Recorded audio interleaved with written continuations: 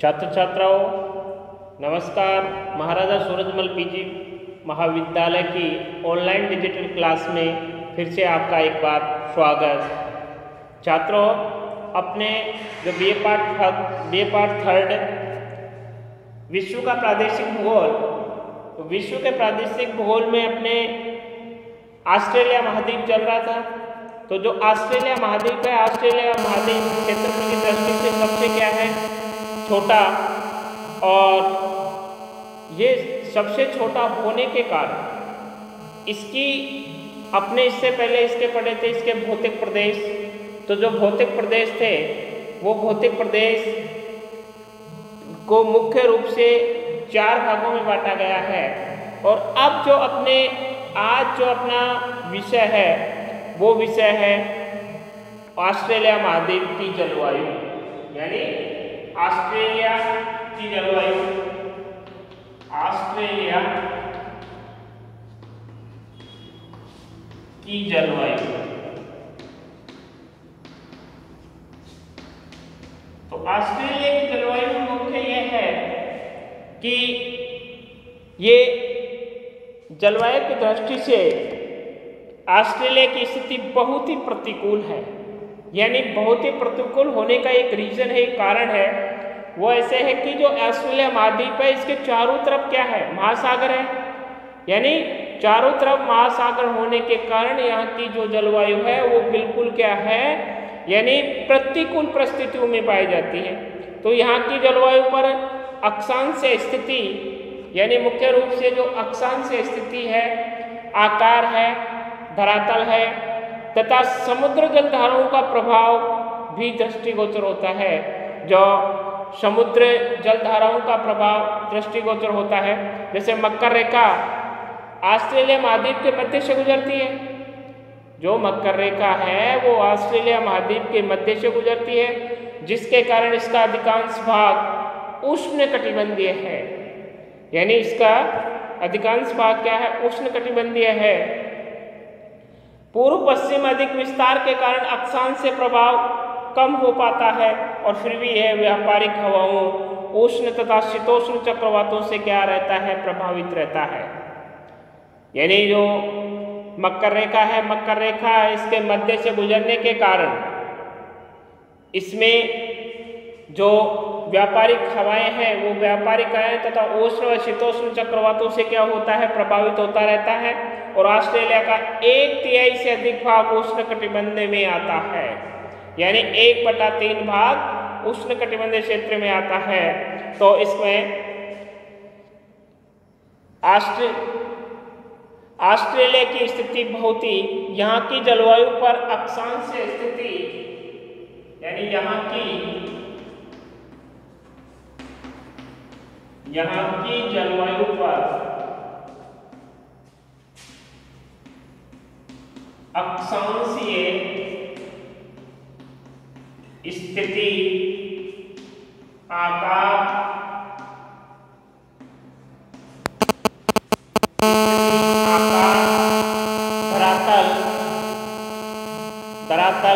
तथा समुद्र जल धाराओं का प्रभाव। आकार तथा समुद्र जल धाराओं का समुद्र जल धाराओं का प्रभाव दृष्टिगोचर होता है। जल धाराओं का प्रभाव दृष्टिगोचर होता है।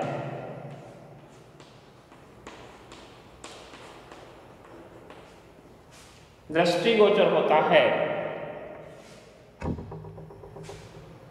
मकर रेखा ऑस्ट्रेलिया के मध्य से गुजरने के कारण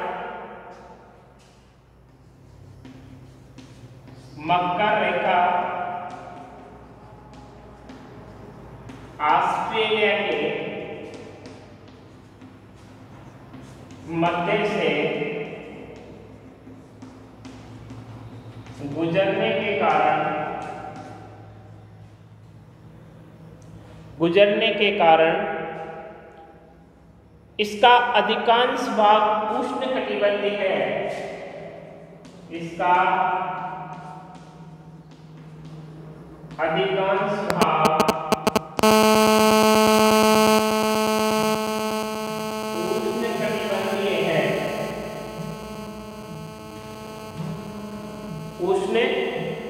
कटिबंधीय है।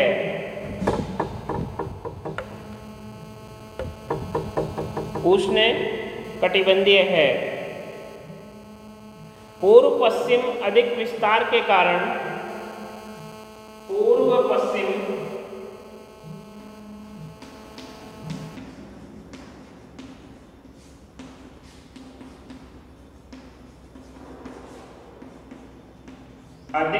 विस्तार के कारण, अधिक विस्तार के कारण, अक्षांश से प्रभाव कम हो पाता है। अक्षांशीय विस्तार कम हो पाता है। कम हो पाता है। फिर भी यह व्यापारिक हवाओं फिर भी यह व्यापारिक हवाओं व्यापारिक हवाओं उष्ण तथा शीतोष्ण चक्रवातों से प्रभावित रहता है।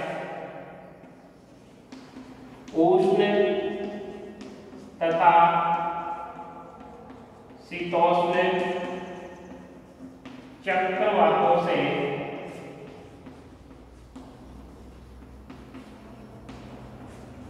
प्रभावित रहता है।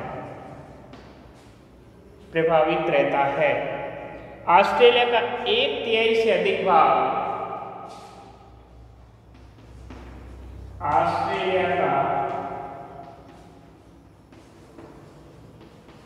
एक अधिक भाग अधिक भाग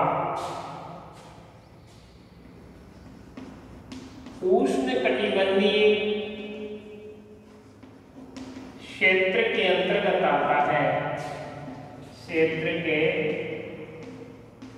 अंतर्गत आता है। यानी इसमें यह मुख्य है जो इसकी मुख्य भाग है। हाँ तो अपने छात्रों जो ऑस्ट्रेलिया की जो जलवायु है, उस ऑस्ट्रेलिया की जलवायु में यहाँ की जलवायु पर अक्षांश स्थिति, आकार तथा समुद्र जल धाराओं का जो प्रभाव दृष्टिगोचर होता है। इसने मकर रेखा ऑस्ट्रेलिया मध्य से गुजरने के कारण इसका जो अधिकांश भाग है, वो उष्ण कटिबंधीय है और पूर्व पश्चिम अधिक विस्तार के कारण अक्षांश से विस्तार कम हो पाता है, फिर भी यह व्यापारिक हवाओं उष्ण तथा शीतोष्ण चक्रवातों से प्रभावित रहता है ऑस्ट्रेलिया का एक तिहाई भाग, यानी एक बटा तीन भाग उष्ण कटिबंधीय क्षेत्र के अंतर्गत आता है। यानी कहने का मतलब फिर भी एक बटा तीन भाग उष्ण कटिबंधीय के अंतर्गत आ रहा है। ऑस्ट्रेलिया के जलवायु प्रदेश, अब मुख्य जो जो टॉपिक है वो है ऑस्ट्रेलिया के जलवायु प्रदेश। तो ऑस्ट्रेलिया के जलवायु प्रदेशों में अपने ऑस्ट्रेलिया के जलवायु प्रदेश। तो ऑस्ट्रेलिया के जलवायु प्रदेश है। वो छह प्रकार के हैं, छह भागों में बांटे गए हैं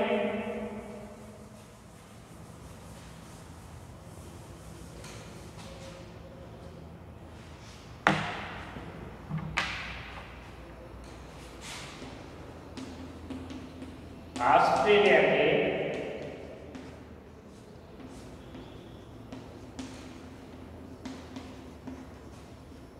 जलवायु प्रदेश तो जो ऑस्ट्रेलिया के जलवायु प्रदेश है ऑस्ट्रेलिया की जलवायु प्रादेशिक विभिन्नता तथा क्षेत्रीय विभिन्नताओं के आधार पर इसे छह जलवायु विभागों में बांटा गया है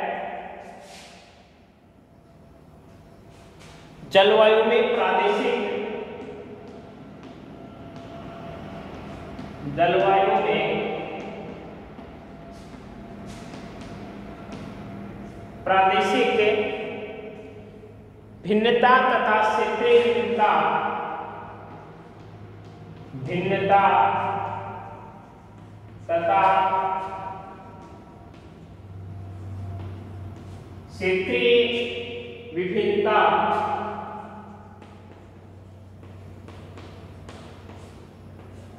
क्षेत्रीय विभिन्नता के आधार पर इसे के आधार पर इसे छह भागों में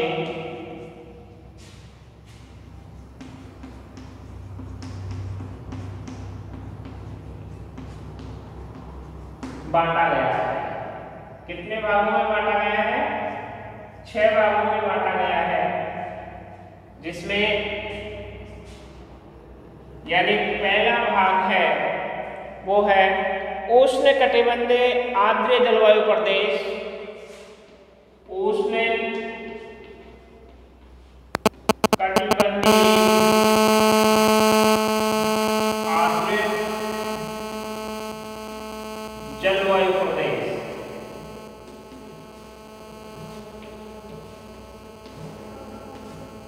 उष्ण कटिबंधीय आर्द्र जलवायु प्रदेश तो उष्ण कटिबंधीय आर्द्र जलवायु प्रदेश इस जलवायु प्रदेश का विस्तार उत्तरी ऑस्ट्रेलिया में है।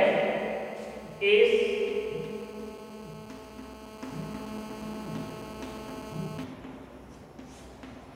जलवायु प्रदेश का विस्तार उत्तरी ऑस्ट्रेलिया में है उत्तरी ऑस्ट्रेलिया में है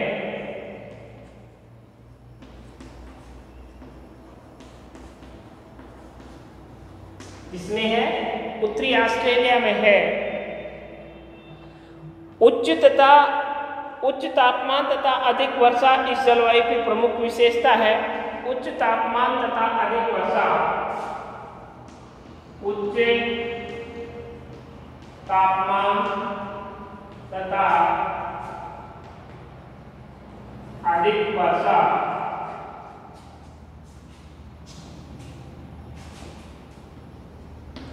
इस जलवायु की प्रमुख विशेषता है। कैसी है? प्रमुख विशेषता है, इस जलवायु प्रदेश का विस्तार उत्तरी ऑस्ट्रेलिया में है उच्च तापमान तथा अधिक वर्षा इस जलवायु की मुख्य विशेषता है। प्रमुख विशेषता है, यहाँ वर्षा का वार्षिक औसत पिछहत्तर से 100 सेंटीमीटर तक होता है। यहाँ वर्षा का वार्षिक औसत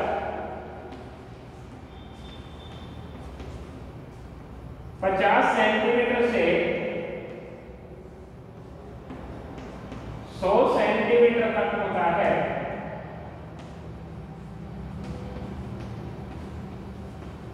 पचास सेंटीमीटर से सौ सेंटीमीटर होता है। इसके बाद में दूसरा है शीतोष्ण आर्द्र पूर्वी तटीय जलवायु प्रदेश। दूसरा है शीतोष्ण आर्द्र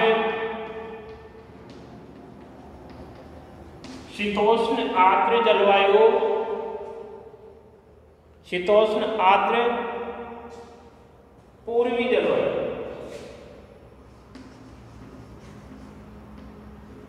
पूर्वी तटीय। शीतोष्ण आर्द्र शीतोष्ण आर्द्र पूर्वी तटीय जलवायु, यानी सेकंड नंबर की जो है, वो इस जलवायु प्रदेश में मुख्य रूप से जो क्वींसलैंड है क्वींसलैंड तथा न्यू साउथ वेल्स के पूर्वी तट तथा तस्मानिया शामिल है। इस जलवायु प्रदेश में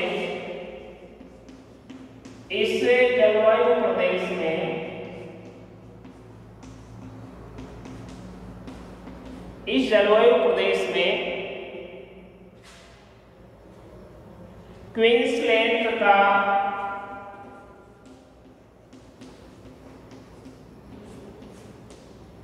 क्वींसलैंड तथा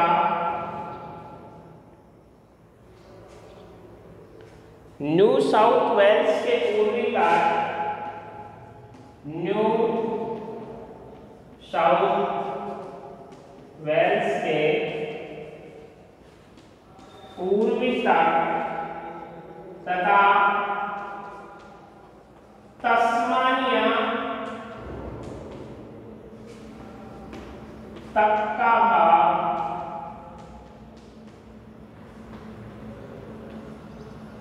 सम्मिलित किया जाता है तस्मानिया तक का सम्मिलित भाग सम्मिलित यहाँ शीतकाल में औसत तापमान 10 डिग्री सेल्सियस। यहाँ शीतकाल में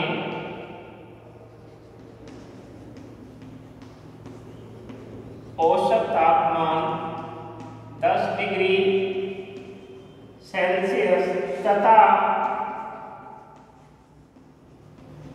ग्रीष्म काल में तथा ग्रीष्म काल में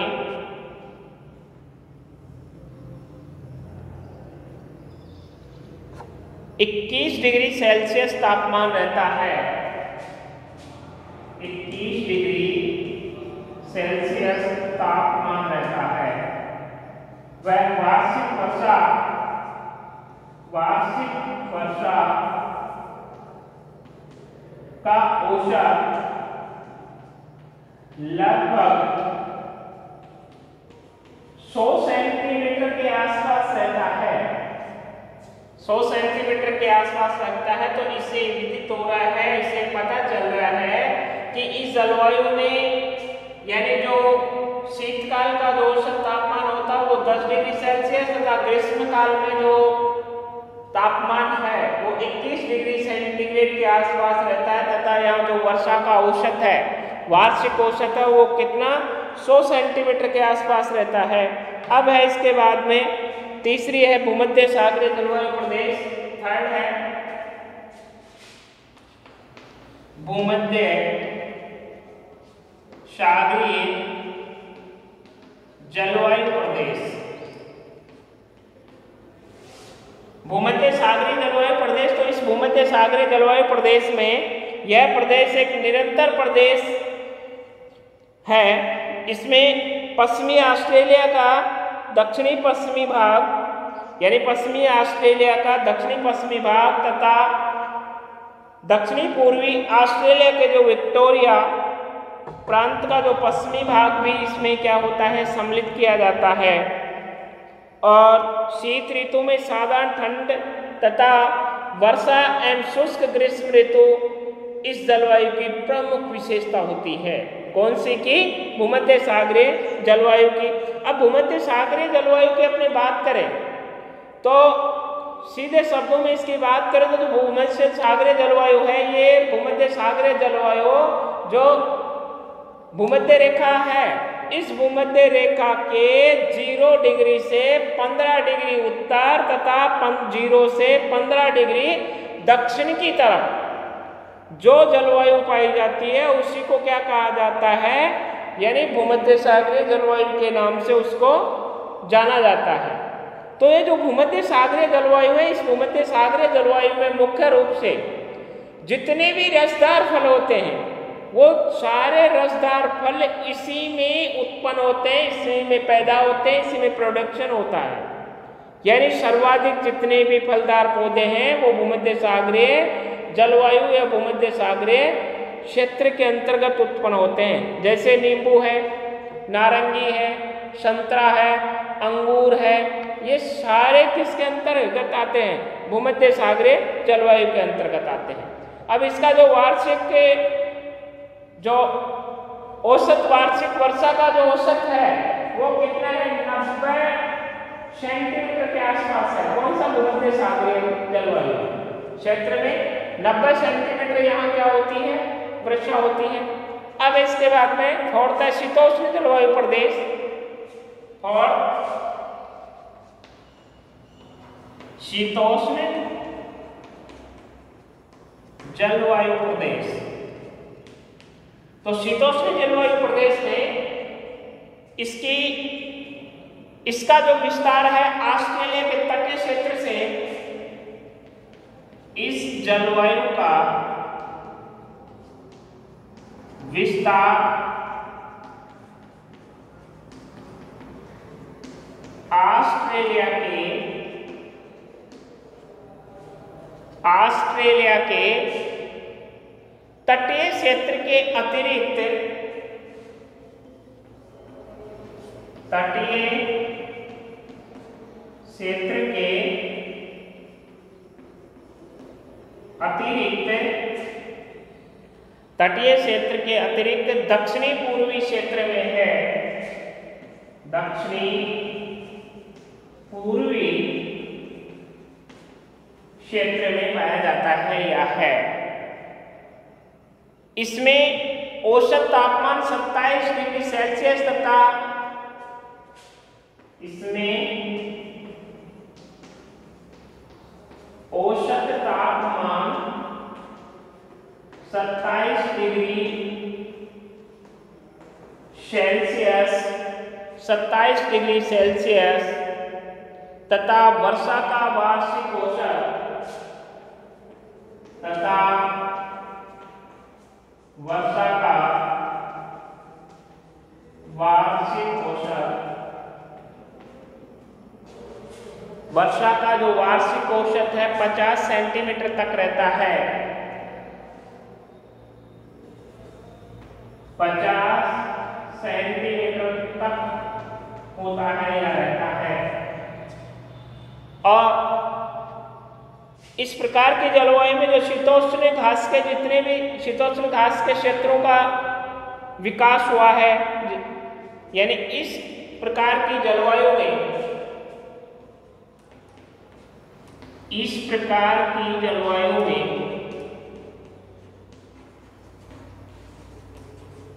शीतोष्ण घास शीतोष्ण घास इस प्रकार के जलवायु शीतोष्ण घास के क्षेत्रों का विकास हुआ। शीतोष्ण घास के क्षेत्रों का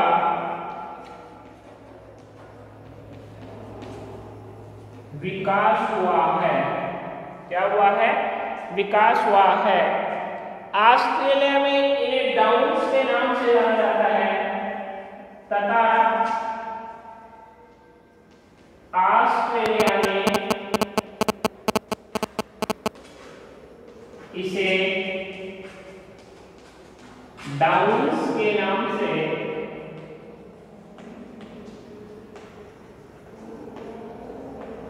जाना जाता है। यानी ऑस्ट्रेलिया में इसे डाउन्स के नाम से जाना जाता है, जो बहुत बार क्वेश्चन पूछा जाता है कि जो ऑस्ट्रेलिया में घास के मैदान होते हैं, उन घास के मैदानों को किस नाम से जाना जाता है?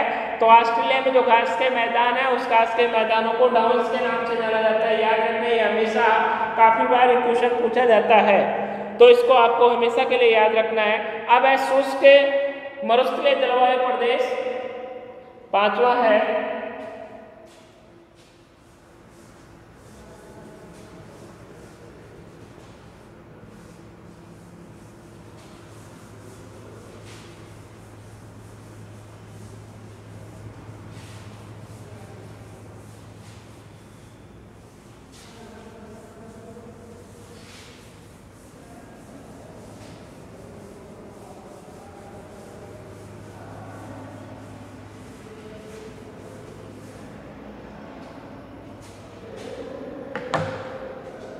पांचवा है, शुष्क मरुस्थलीय जलवायु प्रदेश। शुष्क जलवायु मरुस्थलीय प्रदेश।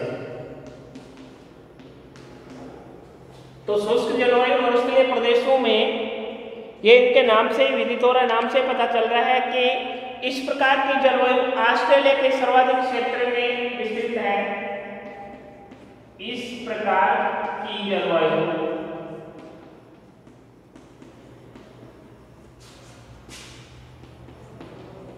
ऑस्ट्रेलिया के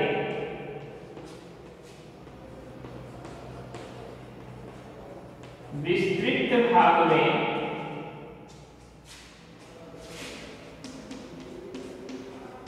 भाग में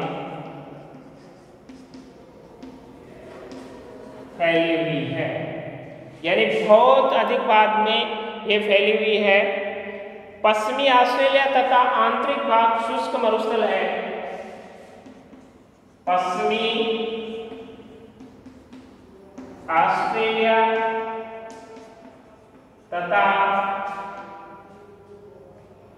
तथा आंतरिक भाग। आंतरिक भाग।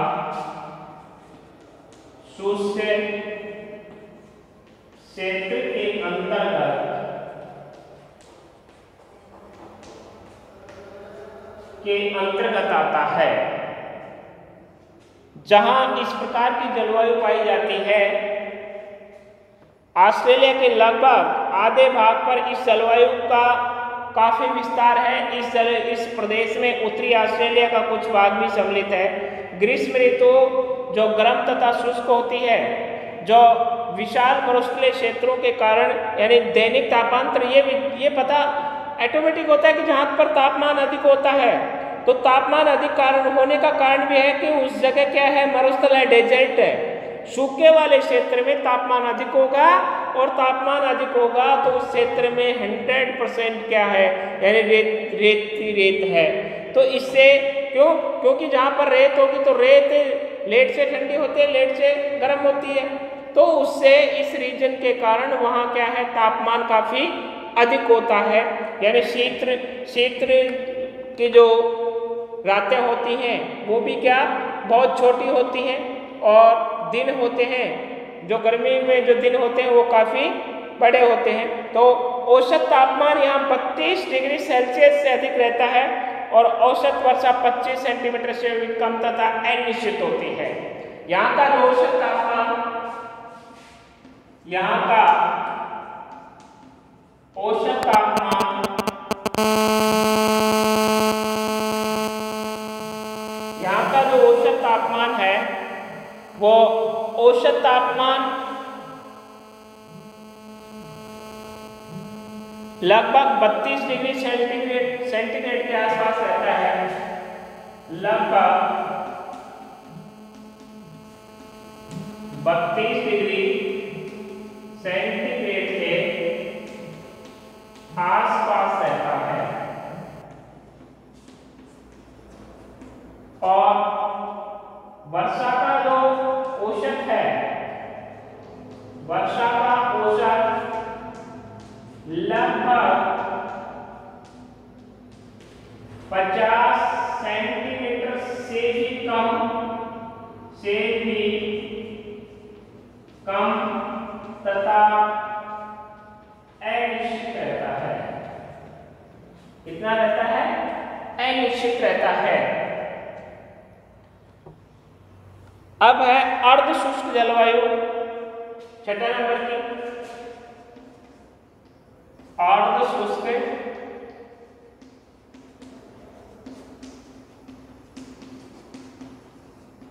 जलवायु। अर्ध शुष्क जो जलवायु है,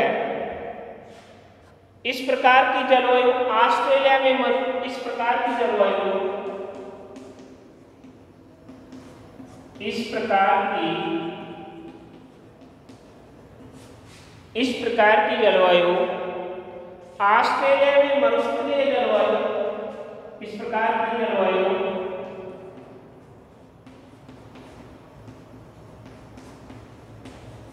ऑस्ट्रेलिया में मरुस्थलीय जलवायु क्षेत्रों के मरुस्थलीय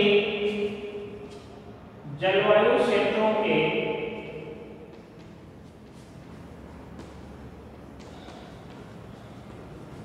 जलवायु क्षेत्रों के तीन और विस्तृत है।